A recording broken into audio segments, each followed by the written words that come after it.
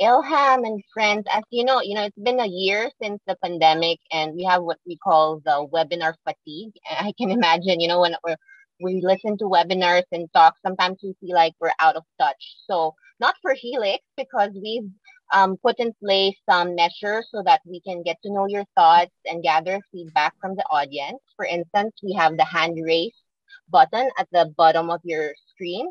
So you can use that during the open forum session where you can ask your questions, give your comments, and of course, throughout the session, you can use the chat box. Yeah, and also here with us again, Wendy Wong. Hi, Wendy. And who is doing our graphic documentation of all of the discussions today?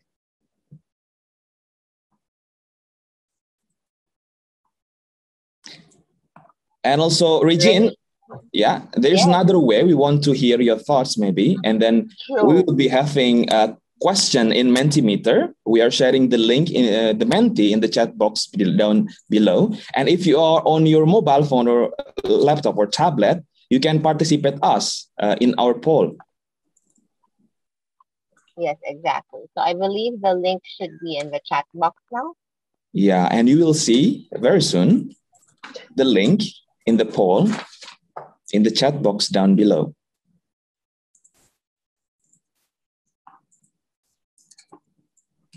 So we have our first Mentimeter question. What idea, product, or service amazed you when you first saw or heard about it?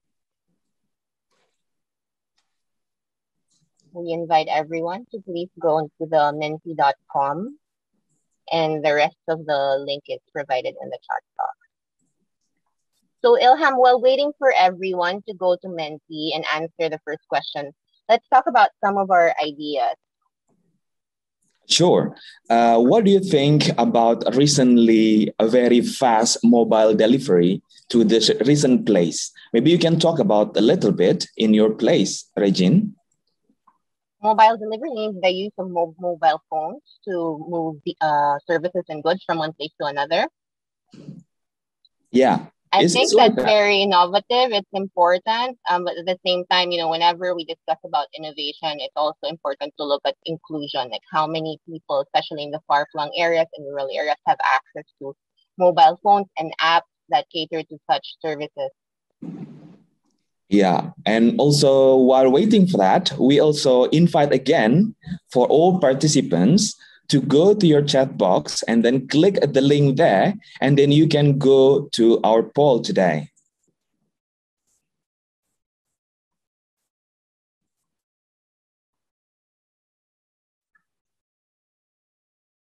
All right. So, Regine, we have some of the responses. Yeah. Yeah, exactly. Go ahead. I see electricity. I'm actually riding on an electric tricycle right now. We have um a Move Her exhibition online here through Helix. Have you heard of the tricycle or tuk tuk? Yes. Yeah, it's very common and popular anyway. Exactly, but the e-tricycle we, ha- we have batteries that um, are chargeable, so it's anticipated to reduce carbon emissions. Exactly, and then we can also see the mobile phone, so everyone can carry out anywhere, anytime. It's a small gadget, but it's very you know changing the way we do every day. I can imagine mobile banking would also fit into. Yeah, into we can also phone. have you know a Gojek, Gojek app. So app. it is. Oh, yeah. yeah, it's like online platform where we can purchase uh, foods and also we can move right. from one places to another places using that app. And also we have Zoom that we have used today. Uh, we also have a self-driving vehicle. Uh, we will be seeing mm. more with the autopilot technology. And we also have a lot of like 5G. It will be interesting how all these connect to each other. I think it's quite related to the next question, actually. Like, how do we instance for use electricity or like reduce carbon emissions when at the same time using um, self-driving vehicles or like the the um, the apps that you mentioned, the, the logistic apps that you mentioned? Because yeah. I feel like that's really the core of sustainability, like how you you, you take into all the goals at once, right? So the next question is exactly that. Um, yeah. reflect on the product or idea. Is it produced, used, or consumed in a sustainable way? Yeah, all right. So we can imagine. So you have chosen your or uh, way in in previous question, and then please think and reflect on the product that you chose, and then you can think whether that is sustainable or not. So you can vote whether it is sustainable or it is not sustainable in the long run. I'm glad to see the sustainable is winning. yeah, and the cat is really you know no no no and it is really it's really good we can uh, see the progress of the vote and the yes is increasing a lot there if 83% versus a 17% and then oh it's racing up. I hope our speakers later on will be able to shed light on what exactly the sustainable means right? Exactly. as i mentioned a while ago. Does it mean just um, being of course the taking in the planet goals or how about local and people empowerment? And then of course the profitability etc etc yeah i think it is now 80 79 80 79 and then we can see the result in a few minutes. Uh, let's wait again. So i think most of the participants and our audiences today are actually choosing that those products are actually sustainable in the long run. That's good. And like I said, like I think I mentioned while we were going over the um answers to the previous question, the five C. So you have um looking into the planet, what does sustainable mean? I'm I hope more people will use the chat box like I mentioned a while ago and, and maybe later the raising hand button so you can share more of your ideas on um let's say like does okay. sustainability so, mean planet and etc. people, profit. Yeah, and for the third question in the poll, that what mode of transport for travel or delivery of good in your community is sustainable? So this is a typical questions uh, related it's to the a more concrete one. question. Yeah, exactly. Yeah. Uh, we see that when demand and supply are met, let's go. Uh, we invite everyone to vote. We only see one uh, we have small truck, we have bicycle. Of course, bicycle is winning. Bicycle twice, really exactly. the most sustainable Three, yeah. classic example. I think we see more bicycle there, and we have also, still meaning public transportation. Uh, yeah, and then we have an anim, sorry, animals and local for WDS, and also we have cars. We have motorbike too. It's still, you know, receiving more polls from our participants today. I'd be interested to see more like typical ASEAN answers. Like, what are the you know modes of transportation that are sustainable within the ten ASEAN member states? Yeah and also my lovely bicycle there so it is very good. Uh, if we if you know that most of the you know company were you the one who wrote that ilham? My lovely no. bicycle. Basically i love my bicycle but uh, this is actually coming from participants. And we have becha there. So becha is like uh, we have also with uh, what's becak actually? Becak is like tuk-tuk uh, and it's very oh, okay. common in indonesian word I see tuk-tuk just now. Yeah, we have a tricycle like that. And then we have also light rail transit or subway. Uh, we also have electric vehicle. So it's very, you know, very sustainable and uh, we can recharge it. Uh, traditional truck. So do you have a traditional truck, uh, Regine? What do you mean by traditional truck? Meaning uh, the truck is traditional, maybe. right? yeah.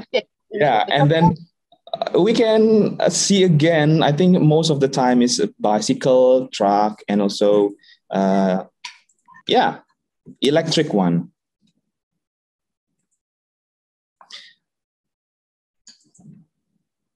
Yeah. All right. Thank you very much to everyone we who can participated. See again. I think most of the time is a bicycle, truck, and also uh,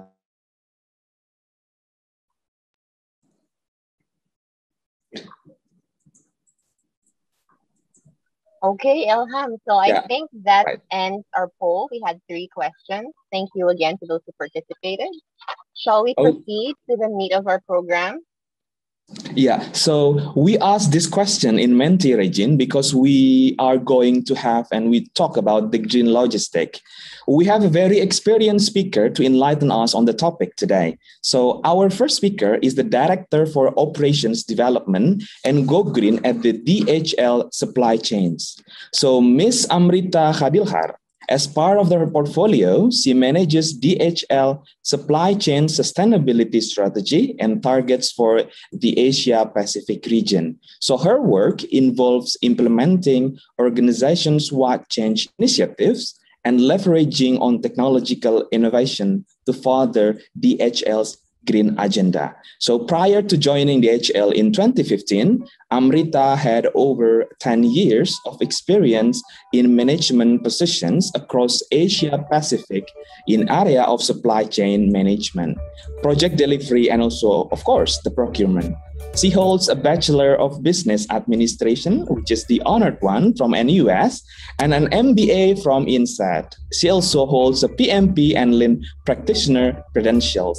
So, DHL Director for Operations Development and Go Green from Singapore, Ms. Amrita Khadilkar, the floor is yours. Yeah, thank you. Thank you, um, Ilham. And um, good morning to everyone. Um, hope you can hear me okay. Can you just confirm that you can? Yes, we can hear yes, you. Okay, great. Okay, so let me um, share my screen because I do have some slides that I would like to um, share. Just give me a moment. Okay, so again, very good morning to all of you, and thank you um, for the opportunity. Thank you to the AHA Center for the opportunity to present to you this morning on a, a, very interesting topic and a very relevant topic for our times, which is green logistics. Um, and really, I'm coming from the perspective of commercial logistics sector, um, looking at how logistics and supply chains are being transformed through an emphasis on sustainability. So um, I, I, won't go through this too much, but um, I work for DHL Supply Chain in Asia Pacific, based in Singapore. Um, and my role really within the organization is to work with different parts of our operations um, to put in place um, sustainable technologies, processes, and practices. In this presentation today, um, I've um, highlighted four key topics for discussion. Um, firstly, I will start off by looking at green logistics from a DHL perspective. Um, really looking at our focus areas in terms of um, where we see the importance of green logistics, um, why we are looking into it, what are our longer term strategies, and so on. Um, we will go on to talk about more specific um, technologies, products, and solutions that we are using today in our operations that promote sustainability. Um, I'll briefly touch on um, a macro view of ASEAN and some of the opportunities that I see um, for green logistics in this region. Um, and last but not least, a very brief intro to applications um, of some of these solutions within the humanitarian logistics sector. So let's start off by looking at green logistics from a DHL perspective. Okay, so the transportation and logistics sector, um, not surprisingly, is responsible for uh, quite a heavy percentage of global greenhouse gas emissions, over 16%. And within that, DHL's share is quite sizable. Um, so DHL as a group, the DPDHL group, we operate in 220 countries worldwide. Um, we employ more than um, half a million people. So just by that sheer global scale of our operations, our share of the total sector emissions is also significant. Um, these are the reasons why we believe at DPDHL very strongly that the transportation sector in general and DPDHL Group in particular have a key responsibility in terms of trying to minimize the carbon emissions that we generate due to our operations um, and minimize our impact on the sustainable health of our planet. Um, and the sustainability conversation is not just becoming important um, for within DHL. Um, what we see globally is that several groups of stakeholders are equally interested in the concept of sustainability and what it means for them. For instance, some of our largest customers are setting themselves very ambitious sustainability targets what we are also seeing is the end customer is becoming much more um, conscious of their environmental footprint and they are making buying decisions or purchasing decisions on the basis of that. We are also seeing in, increasingly government policies that are promoting sustainability and we are seeing an inflow of investment into the development of sustainable green technologies for the industrial sector. So, all in all, this is a topic that is a topic for our times, and it is here to stay um, in a big way.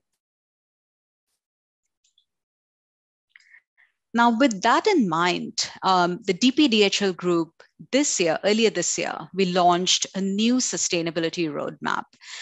Um, and sustainability for us, I heard a question earlier on uh, when um, the introduce, introductions were being made that what is sustainability? And sustainability for us in DHL um, comprises of not just environmental sustainability, but also the social and governance aspects of it. Um, however, for today's presentation, um, I will be concentrating on the environmental sustainability strategy of DHL, um, again, due to the focus on green logistics um, in this particular session.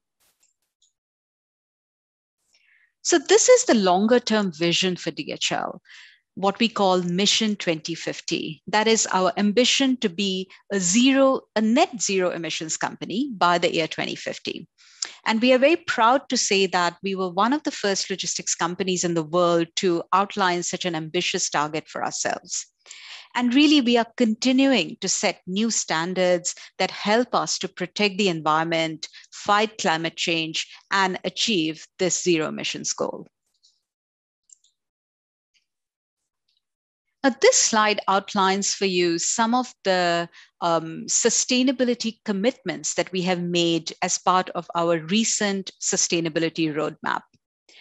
At a group level, um, we have committed that we will reduce our CO2e emissions to below 29 million tons by the year 2030.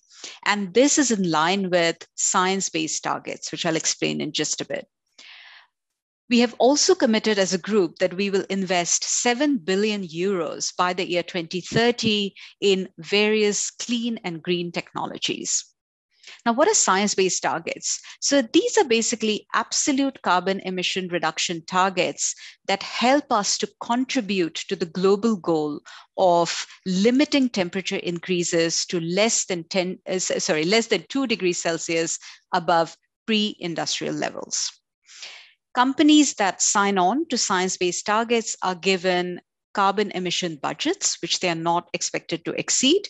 And for DHL, this is our carbon emissions budget, which is 29 million tons of CO2e.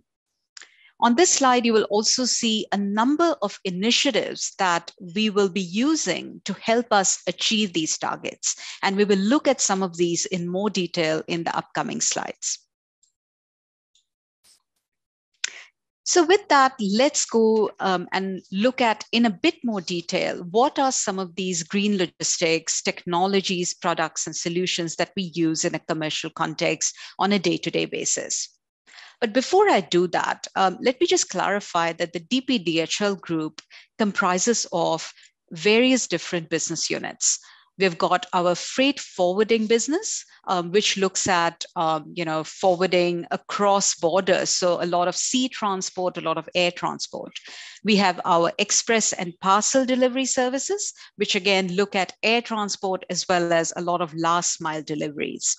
And then we have our contract logistics part of our business, which is DHL supply chain, um, that looks at both warehousing as well as transport fulfillment activities for primarily for business to business customers. And this is the business unit that I belong to.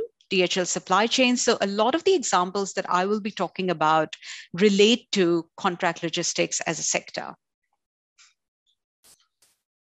Let's start off by understanding what do we mean by carbon footprint. So from a contract logistics um, standpoint, we run large warehouses and fulfillment centers for our customers.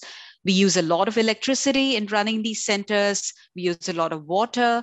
We deal with a lot of packaging waste, which needs to be disposed.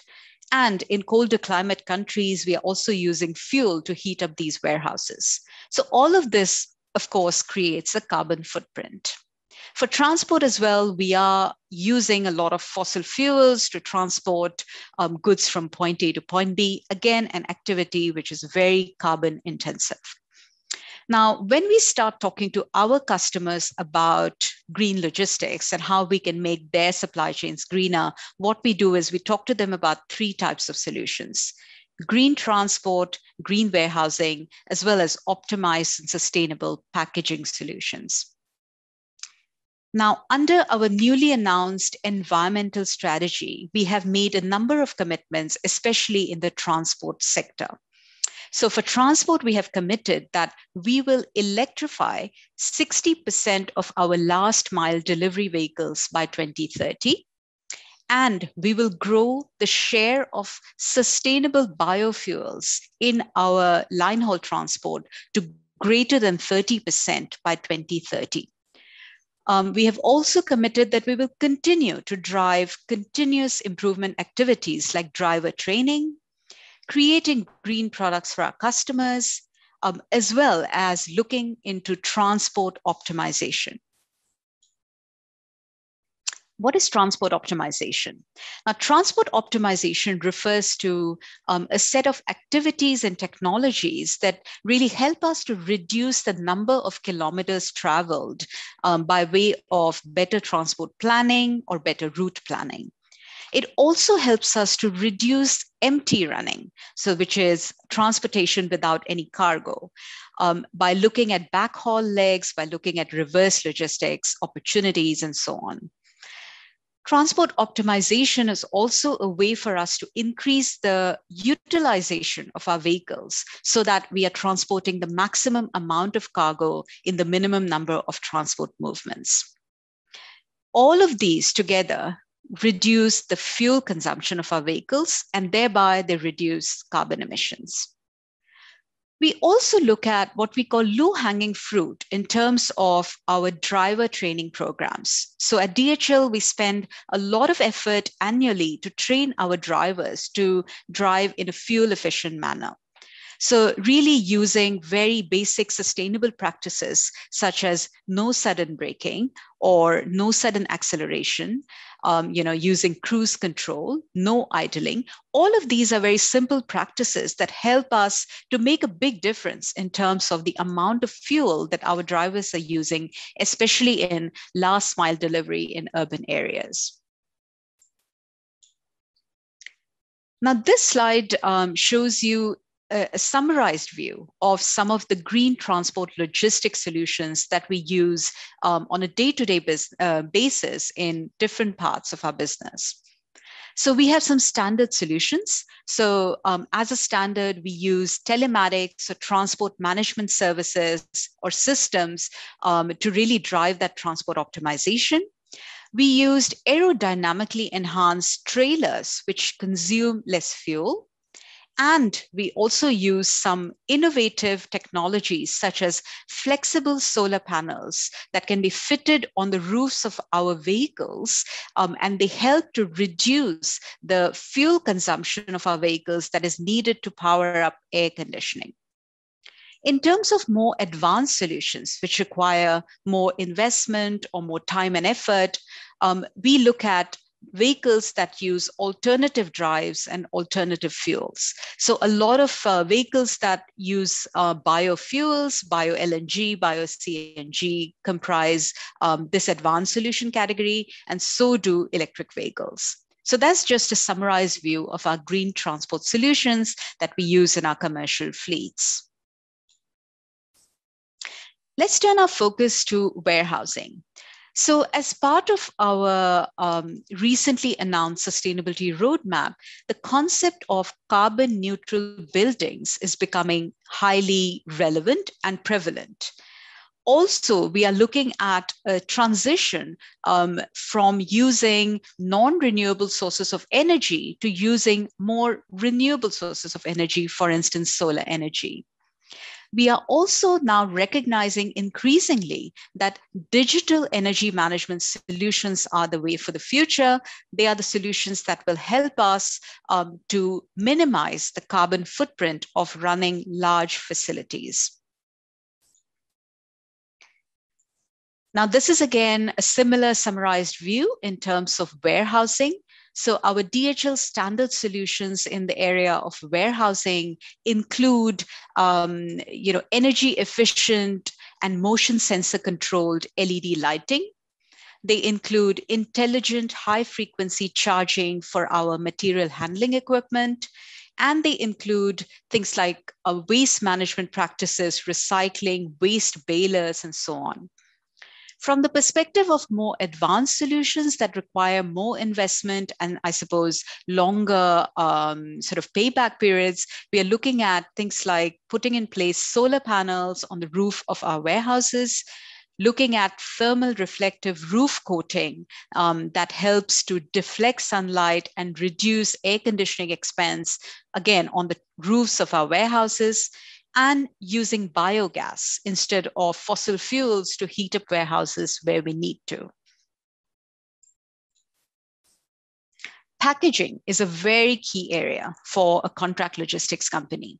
And we often talk to our customers about three different aspects of packaging equipment, materials, and process.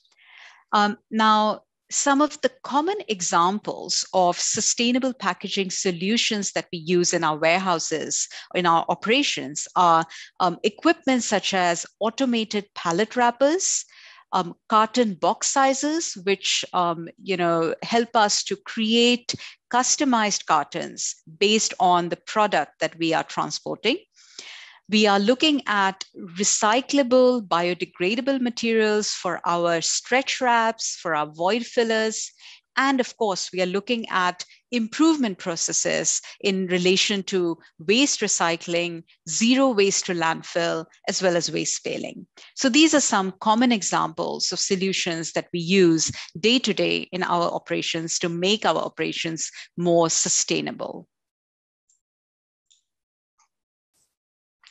Um, now, as we um, briefly touched on before, um, around the world, um, there are several um, key um, discussion points that are coming up. So there is um, an increasing awareness of urban pollution and increasing awareness of the need to move away from polluting technologies.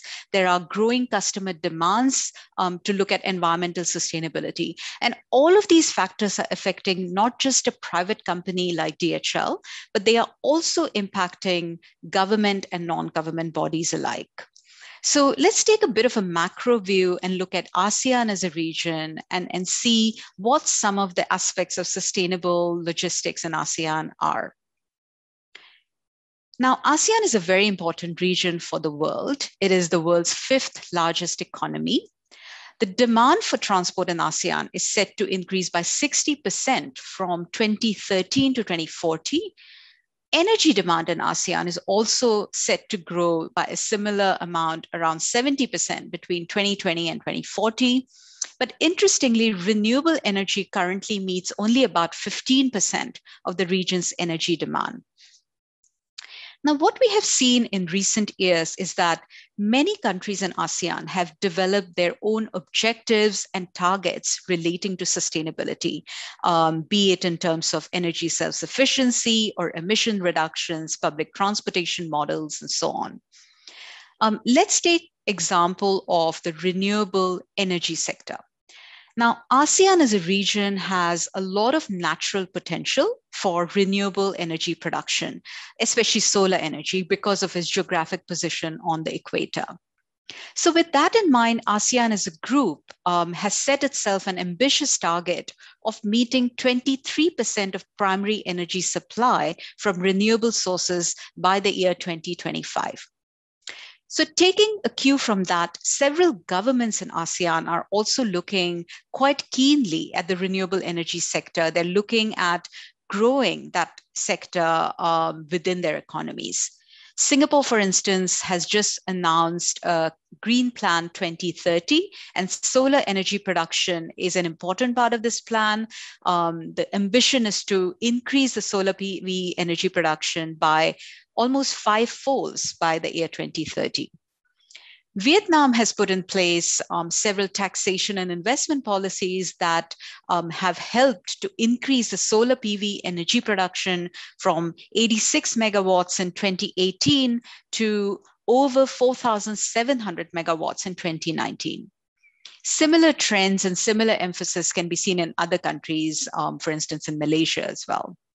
So, all in all, we can see that a lot is being done at a government level to promote this industry, to grow the capability of these economies to handle a more sustainable future.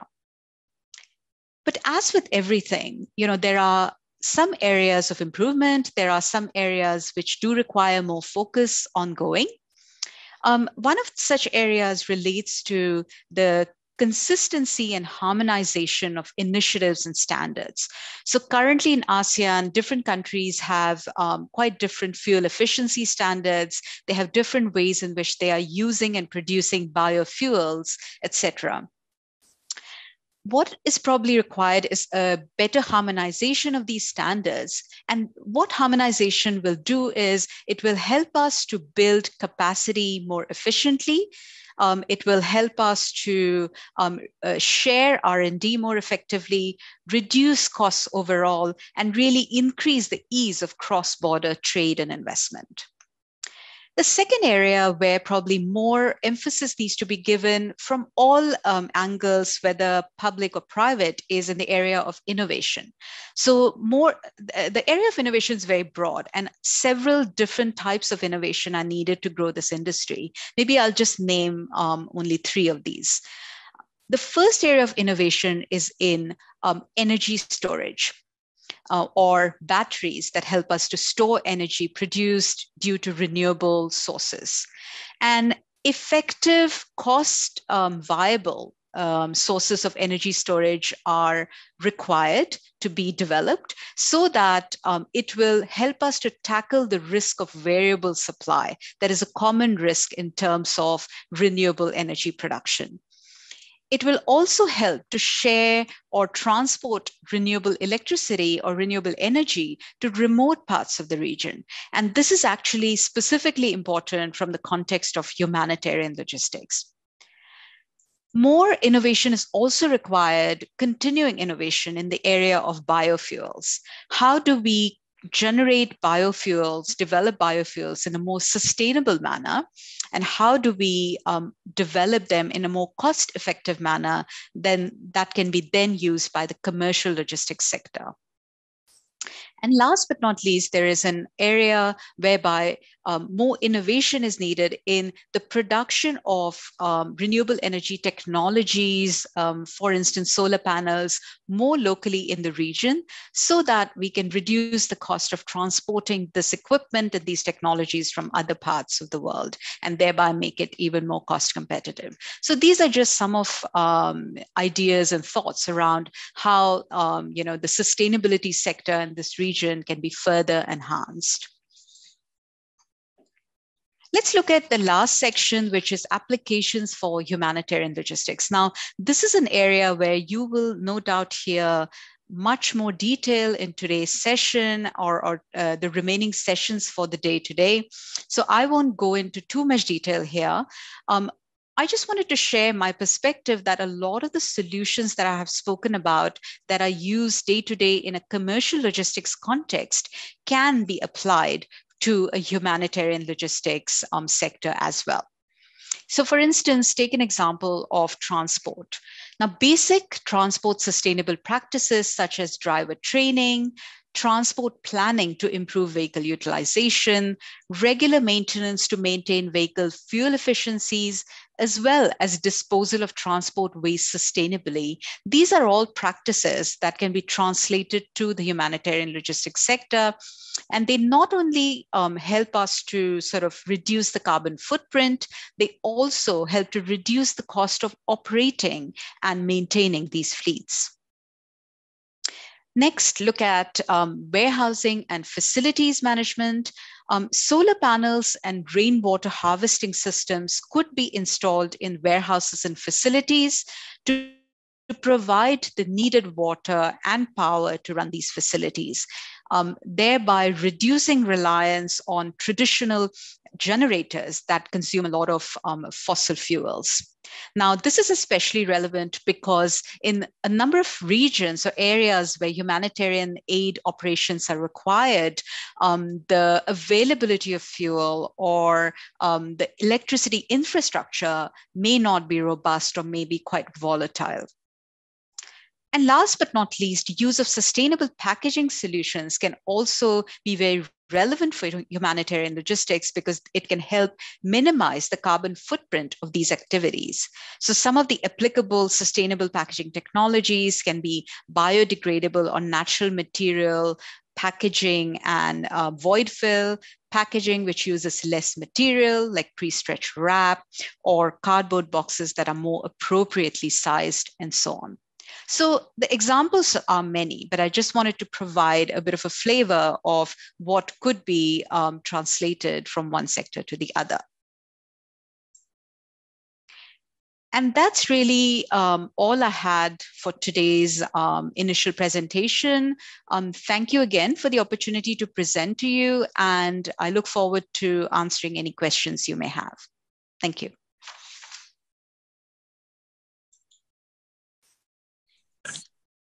Thank you so much, ma'am.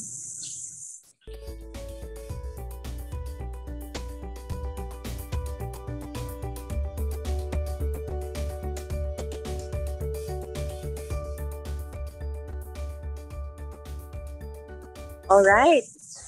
Thank you so much.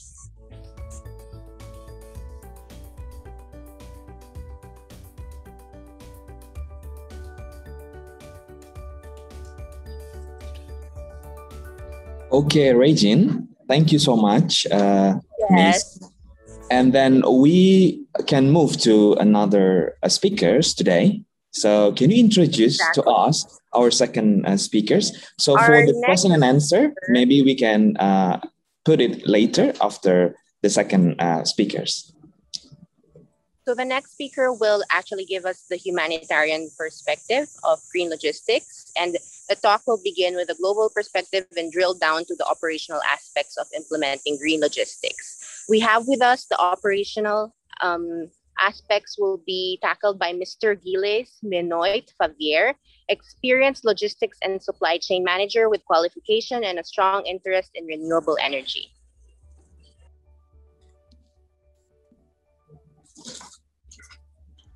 Uh, yes, good morning all. Uh, greetings from Kabul. Uh, can someone assist me because I'm not able to share my screen. Someone else seems to share his own. So it would be great if uh, you can help on this.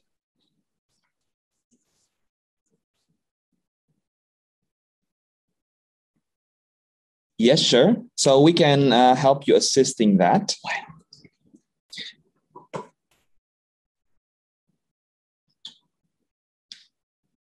So please check whether you can see something on your screen.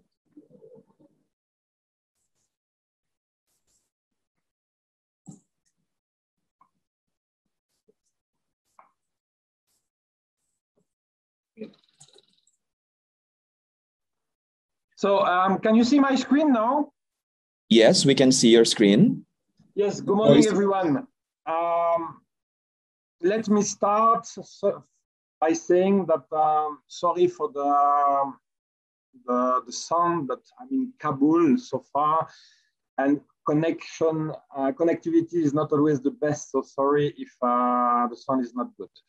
Uh, my presentation was supposed to follow the one from Carmen Garcia, who is the uh, responsible for the Sustainability uh, Supply Chain Alliance within ICRC and the Red Cross and uh, Red Crescent movement. But unfortunately, she has not able, she was not able to attend this meeting so far. So let's hope she will be able to join a bit later. Uh, she asked me actually to give um, a field perspective of how sustainability can be integrated in the humanitarian supply chain and humanitarian uh, operation. So um, just for you to know, I've been uh, working with ICRC over the five past years. Uh, before that, I was uh, working with Doctors Without, Without Borders uh, in several emergencies, including uh, the um, emergencies responding to the um, typhoon in Philippines in 2014. And uh, as uh, was mentioned by uh, Rosine, uh, I have quite a lot of interest in sustainability. Um, and so uh, it's in this view that I will give you my presentation of today.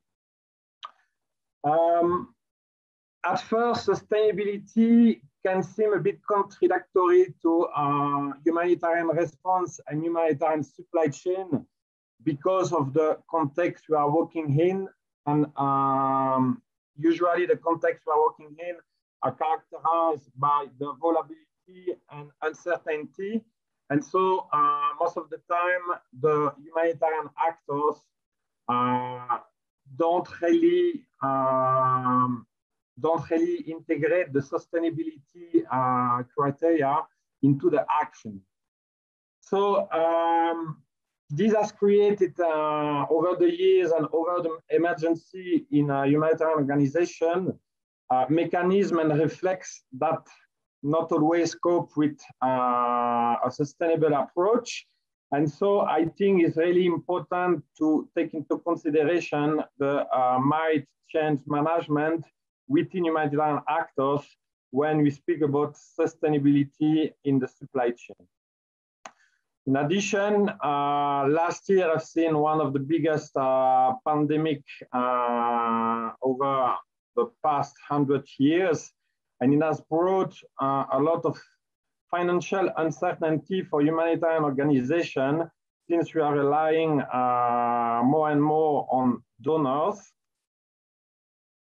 and um, it's um, it's quite complicated to integrate uh, the sustainability criteria, especially when it's seen as an expensive and time-consuming uh, criteria to integrate into our action. So um, for me, in, in my perspective, um, it's how can we change the mind of our colleagues, resident and mobile staff uh, by integrating a concept that is not always seen as uh, the most cost effective uh, without impacting our operation and uh, at the end to create an added value for humanitarian logistics.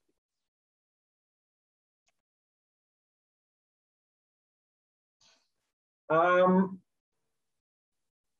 I will speak about a case study that I had the chance to implement in 2019 with the ICRC in Central Africa, which is the creation of uh, the Douala Logistic Hub. Douala is one of the main ports of the Central African region, um, which uh, basically uh, is the main entrance for all supply chain within Central Africa.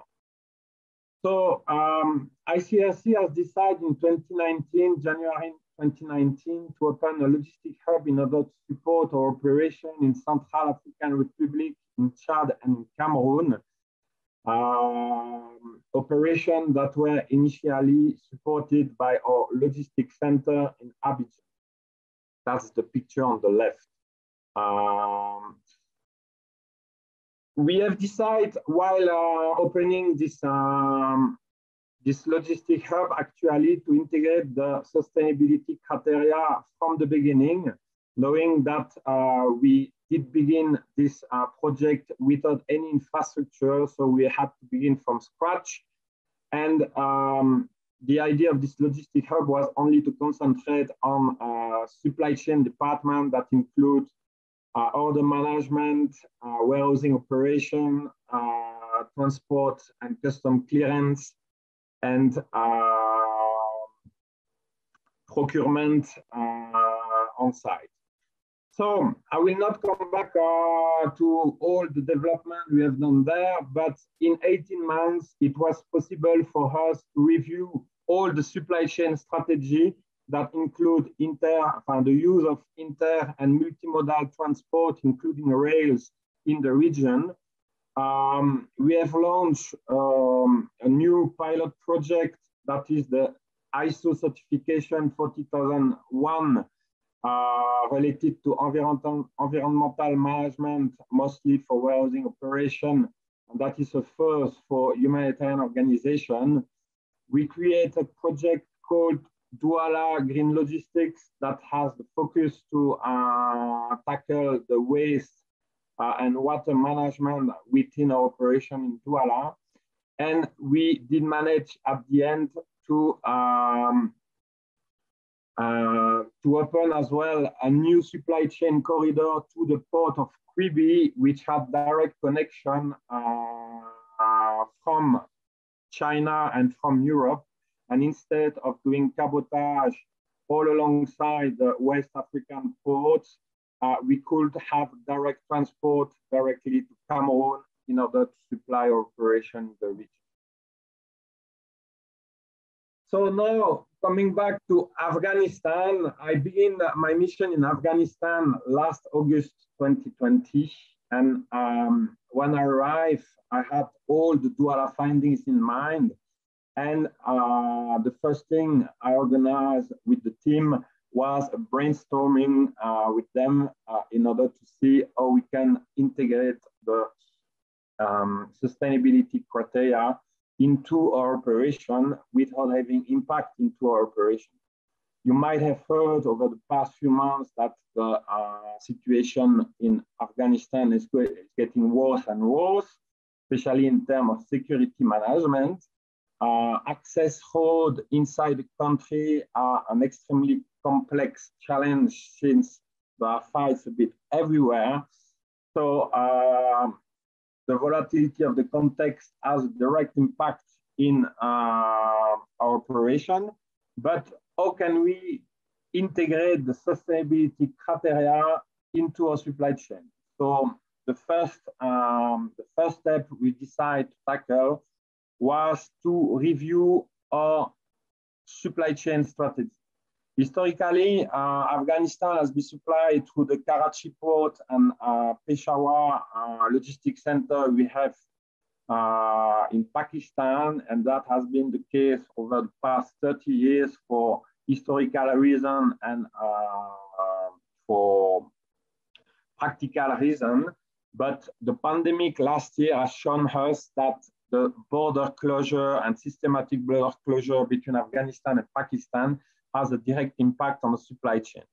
So we have decided to explore, uh, instead of having a centralized supply chain strategy to only one uh, supply chain corridor, to check the opportunity to have a decentralized supply chain and mostly by exploring the possibility to the north and uh, to, to benefit actually from the Belt Road Initiative from uh, uh, Chinese authorities that allows us to uh, bring stuff into Afghanistan by the North Supply Chain Corridor. uh, including by train. So the train is not reaching Mazar-e Sharif in the north of Afghanistan. And we thought that it was a good opportunity for us to implement that uh, for supply chain strategy. So um, I will focus now on practical measures we have uh, we have taken in order uh, to integrate sustainability, knowing that not all of them are the best one. Uh, we still need to do a lot of change mind management with the staff because uh, you have to know that while working in uh, complex security humanitarian um, context, uh, usually our colleague from the country, uh, their job is the only thing that is a bit reliable in the life. And so uh, they don't like change. So change management is something essential. And this takes a long time to implement. That say, over the past eight months, we have tried to um, uh, integrate the waste management, that is uh, the waste management produced by our logistics center and by our workshop uh, facilities in Afghanistan by involving first the staff. So we have focal point on almost every site uh, we are dealing with in Afghanistan. We are organizing now monthly training and awareness session in order to explain the people the importance to have um, a waste and water management within our facilities. Uh, we have identified um, contractors that, um, recycling contractors on which we can rely to ensure a proper recycling of our segregate, segregate uh, waste. And basically, uh, I'm trying to um, to implement this sustainability within the mind of my staff by learning by doing. In terms of order management, as I was mentioning, we have reviewed our supply chain strategy. Uh, the review of the supply chain strategy is, of course, to see what is possible to do outside Afghanistan in terms of transport, procurement, etc. But it as well essential to identify and to see if um, we can rely on local supplier that will uh, shorten uh, our supply chain uh, lead time and length. So uh, we are on the process now to do um, supplier mapping of all what is available in Afghanistan. Uh, but I will go back to that for more the procurement side. And we are now in a position to say what we want to source from where in order to reduce our uh, carbon footprint uh, for the operation in Afghanistan.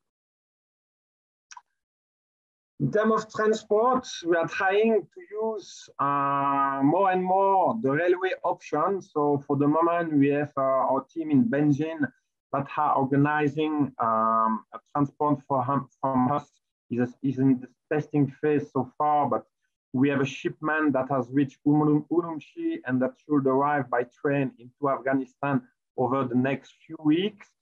So multimodality of transport is something that we are trying to uh, improve a lot. Uh, of course, we need to always make the balance between the sea, road, train, and air option according to the uh, operational operation needs. Um, we had to balance as well the, the insourcing or outsourcing of the transport. So we have decided now, and don't worry, the trucks that you can see below uh, on the picture below are the truck we were using 20 years ago. Now we have uh, our own fleet of uh, ICRC trucks inside Afghanistan. And we did manage over the past two months to organize several field trips to our uh, offices. Um, so this is as well a balance we need to uh, find. And we need to try, while outsourcing our transport, to uh, work with partners that are respecting international norm and regulation regarding uh, the carbon emissions. In terms of procurement, I was mentioning that uh, you have to make always balance between local, uh, the the balance between the local and international slash regional procurement. So we have been um, for the past five months uh, a general assessment of um, supplier facilities within Afghanistan. Uh, we have a quality of quality manager for ICRC that will come to visit us in July in order uh, to check if the uh, supplier we can use in Afghanistan and for which we have an interest in terms of uh, procurement uh, are respecting uh, international standards in terms of sustainability. Of course, we will not find someone coping with 100% of uh, this criteria, but the idea is to accompany them uh, in order for them to improve uh, the QHSE and, uh, and the sustainability. And so this is as well part of our job to try to uh, accompany uh, local supplier in order to have a side effects on our operation in terms of warehousing management, well, it's just some examples, but for example, uh, over the uh, past 20 years, we have been using propylene bags to kit uh, or humanitarian assistance. We are now in the process uh, to adapt our kits with uh, carton box uh, that are locally sourced, as mentioned by my colleague from DHL just before. So that's, that's just practical solution we have now. Um, we will have soon to uh, move our logistics center and we are trying as well to explore all the sustainability solutions such as energy storage, um, energy storage, uh, energy performance building, etc. for our next logistics center in order to integrate the uh, new solution. Waste management, of course, is one of the uh, most important uh, tasks for us since we are consuming a lot of items, a lot of packaging, etc. So how to reduce our waste uh, in order to uh, reach sustainability criteria. And last but not least, we are about we are to um, we are about to integrate QHSE standard in our warehousing operation uh, during the second semester uh, since this is something that is completely inexistent in uh, Kabul. And so uh, we are planning proper training of our staff in order to implement that in our warehousing operation. So um, it's a short presentation, but uh, you will have the occasion to ask all the questions you want. But as a conclusion, is that sustainability is not an, an option anymore since most of the donors is a requirement for most of the donors now. Uh, by experience, I can say that small action can have big impact. Uh, that means by changing small things, you can have a huge impact on the sustainability of your supply chain. Creativity is a must. Uh, you need to uh, always think uh, far ahead and uh, to, to be creative if you want to integrate this criteria. And um, as final conclusion, I will say in my mind and in my view, sustainability and humanitarian supply chain are not contradictory, but they are complementary. And I thank you for your attention.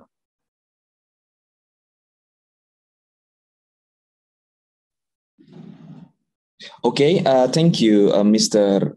Benoit. So we invite everyone again to go down there. If you can see in the screen, the question and answer tab. So you can click there and then you can ask as many as questions you can to our uh, speakers today. But uh, before that, so it is a very uh, good uh, speech. And also, uh, when we talk about situation in Afghanistan, which may seem far from many of us in ASEAN, but it's very good example of the most difficult transport and the logistic context that that can push us to do more sustainable uh, strategies. So it's very good. So while waiting, uh, Regine, we have uh, several questions coming in, and then we would like to uh, put that in our session now. So there is one question, the first question, I mean, uh, coming from land and also it is addressed or it is asked to our uh, speaker from DHL. So are they already innovation to replace the styrofoams for packing equipments or shipping? Miss Amrita? Okay, so um, yeah, so we are looking at various alternatives to replace um, styrofoams and plastic void fill, as we call it, um, in uh, packaging. So there are a couple of different types. Um, we use paper-based void fillers um, that are made from recyclable cardboard or recyclable paper. Um, there are also uh, another category, which is um, bio-based fill, as we call it. Um, and these are made out of, um, you know, um, compostable or biodegradable material and biological or natural materials such as, you know, sugarcane or uh, maize starch and things like that. So we are looking at various different ways of reducing the plastic void fill. Um, I also mentioned before that we look at a technology called the carton box sizer, which helps us to um, create the optimal size of a package or a carton so that we avoid the use of um, a lot of void fill. So that's another way in which we uh, minimize the usage of void fill. Yeah. Okay. So we have also the next question, Regine, please. Yes, you know, Ilham, I was just about to say that actually one of the things that I really appreciate about the talk is seeing the involvement of the private sector because as you know, like if we have different stakeholders, public sector, private sector, youth, women, all the sectors involved, that's when we really achieve sustainability. So Ms. Amrita, our next question is how far has DHL used green logistics for supporting humanitarian action, for, for being part of this humanitarian movement here in ASEAN mm-hmm. and also beyond?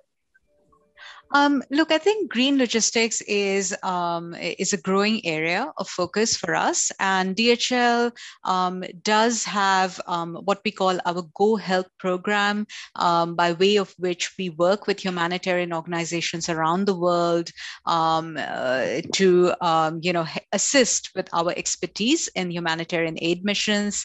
We have a Get Airports Ready for Disaster program as well as disaster response teams that are working working um, very closely with um, aid agencies um, we are using uh, our logistics expertise when we um, work with aid agencies to carry out um, these um, activities. So we are using things like our transport planning expertise to ensure that you know we are uh, maximizing the utilization of our vehicles, or we are delivering um, the supplies in the most sort of efficient manner. So we are bringing in a lot of these systems and that system and process knowledge first and foremost to um, uh, you know transfer what we have commercial in commercial logistics all the business practices to a humanitarian context. We are also continuing to look at um, you know innovative forms of packaging that um, will help us to deliver aid um, in the most efficient manner while reducing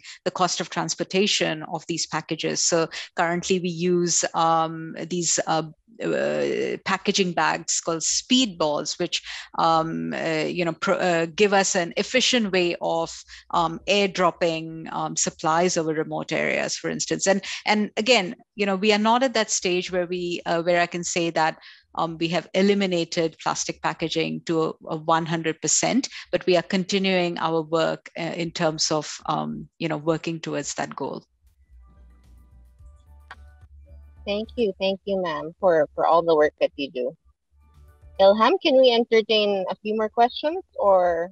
Yeah, we also have, uh, sure. We also have a, a, more questions. So what kind of sustainable fuel that DHL is exploring?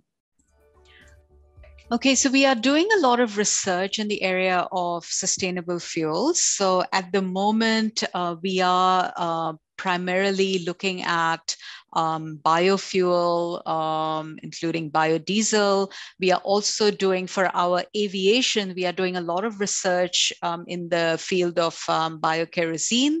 Um, again, um, the uh, biofuel is an interesting topic because um, if the biofuel really has to be sustainable, it has to be produced in a sustainable way. So we are, um, again, as, as, I mentioned, I think more innovation is needed um, to help do that for biofuels. So um, these are some of the areas that we're looking at. We're also looking at um, electric vehicles, as I mentioned, so really going off the topic of biofuels completely. But within biofuels, yes, we are looking at some of these fuels that I just mentioned.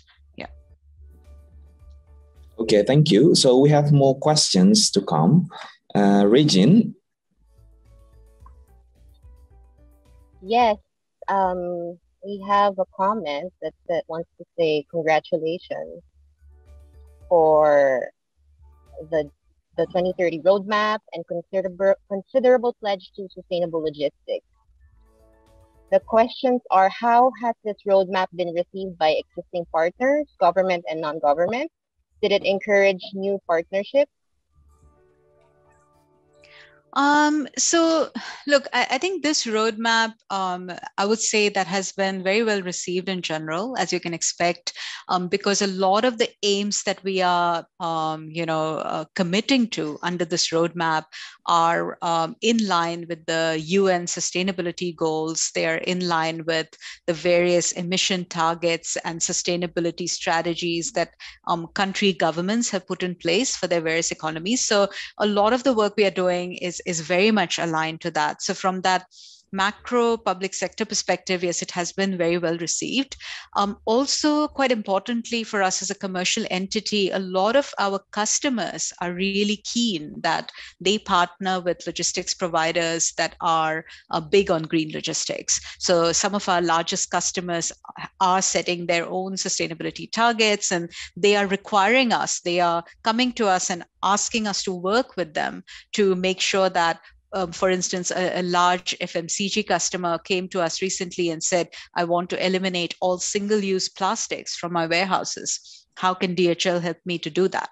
So these are just some examples of um, you know feedback that we are getting from our different stakeholders. So all in all, I think um, it has been a very timely and uh, effective initiative. Yeah.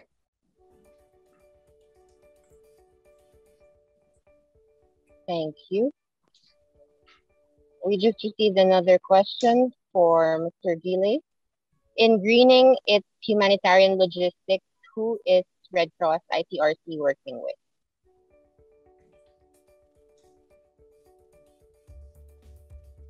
Can you come again, please? Who who is ICRC working with when it comes to greening logistics? So uh, actually, I'm not in a position to answer this question. This should have Um, again, me, I'm on a field perspective, but uh, I can give you, for example, the example of Douala. Um, we have decided to uh, outsource our warehousing operation, and so uh, actually, when we launched the tender, um, it was mandatory for the potential supplier to respect uh, minimum international standard regarding uh, ISO certification QHSE implementation, etc. So actually, uh, we are trying to work as much as we can, and depending what we can find in the field, uh, with uh, partners that are local or international that are uh, certified uh, for certain criteria according to uh, the, the, supply chain department we, we want to work with. I don't know if it answered the question, but it really depends on a case by case. Uh, it's on a case by case basis, and uh, it really depends on uh, what we can find into the field. Okay, wonderful. I think Ilham, like I said, it's really good to hear from experiences of both, um, both kinds of entities. You know, pri- private sector and then humanitarian organization. Yeah, exactly. Are we still able to entertain and, and a few questions? Yeah. Or does that mark the end of the session? Uh, I think we have uh, more questions, especially for Ms. Amrita. For a driving or driver training, would you have a module or program that you can share? Okay, so the driver training is a pretty, um, I would say, decentralized activity because a lot, um, it is customized to each country based on local language and also local regulations. Um, we do have some um, general principles of driver training that I mentioned during my presentation, and later on, I'll be happy to share more details of that. Um, but again, those general principles are then put into practice um, in a decentralized way in each country. So we don't have one module that just goes out to every country. It, it is really worked on by every operation based on their requirements. Yeah. Yeah, thank you. And I think to wrap up, uh, this is the questions for both Ms. Amrita and also Mr. Benoit. What is the humanitarian corridor and how does it improve humanitarian logistics? So again, I can't, these um, um, sorry. So again, this is uh, something that uh, you have to take uh, case by case. Uh, sometimes you have uh, officials and authorities that allow some uh, supply chain corridors for humanitarian actions. this is mainly imposed by government while you have quite important crisis while you are working at country level like me, you have to open your own corridors according to rules and regulations uh, that you, you can find on the spot. So uh, actually, for example, in the case of Afghanistan, as I mentioned, uh, the supply chain corridor has traditionally been through uh, Pakistan via the port of Karachi. But uh, actually, we have noticed that the North supply chain corridors going through Mazar-e-Sharif is now a reality, and we can use it on a more efficient way, knowing that we are reducing our leading time, we are able to integrate the sustainability criteria by using the rail, etc. So it's really on a case by case, uh, uh, region by region, country by country, and it really depends on the uh, context and the reality in the field. Yeah, I think um, I would just like to echo that as well. I think humanitarian corridors, of course, are very important in terms of ensuring um, the seamless sort of passage of goods and services. Um, and again, from um, the company's perspective, I suppose from a company like DHL, um, we are working hand in hand with several governments and several sort of um, local authorities to um, really put in place some strategies that will, um, you know, make it more efficient to help that movement along. So uh, I mentioned our um, Get Airports Ready for Disaster program, for instance, is, is a good example of that. So um, yeah, so nothing more to add, but just want to support what the earlier speaker said. Yeah. Okay, so the last question that I would like to raise uh, is coming from our participant too. So, how do you see the DHL and ICRC work with ASEAN, in particular with the AHA Center, in promoting green logistics? Um, yeah, look, from our perspective, again, um, a lot would also um, be through our Go Help program, which is our, um, you know, social responsibility and community engagement program, whereby we work with organizations such as the AHA Center to, um, like I mentioned, you know, share our best practices, share our learnings, and maybe some of our technologies and processes to um, help uh, bring that um, commercial logistics perspective into the running of warehousing or road transport, if you will. So mm-hmm. um, that's our primary way to work with organizations such as yourselves to uh, make this better. And, and through, through engagement forums like this, you know, whereby we get a chance to share what we are doing and, and to understand from the participants what are some of the areas of concerns that we can take back as a feedback and, and um, help improve the services that we are providing to humanitarian organizations. Yeah.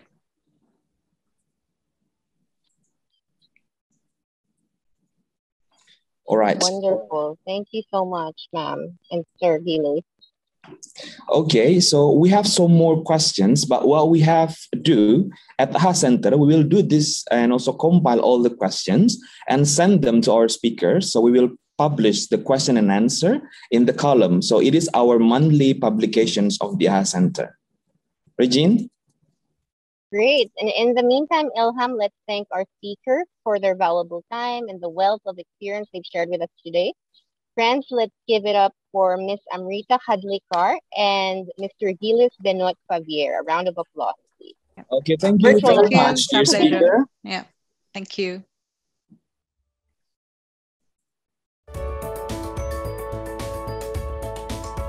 And finally, before we end this morning session, Ilham, let's remind our participants a few other things.